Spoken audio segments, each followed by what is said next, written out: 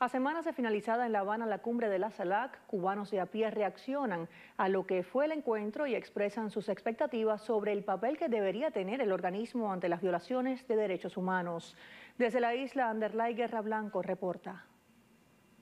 La CELAC es apenas un mecanismo de consulta periódica entre los gobiernos. Yo no sé nada de eso.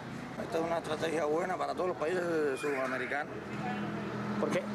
Porque bueno, va a haber la mejora de la gente pobre en el mundo, eh, se va a eh, eliminar lo que es el hambre y, la miseria en el mundo. Que bien por ello, eso es lo que tienen que hacer avanzar la economía del país y esas cosas. Sobre los posibles beneficios obtenidos por los cubanos durante la presidencia pro tempore de la CELAR. Ahora, en el tiempo que fue presidente, ¿tuviste algún avance?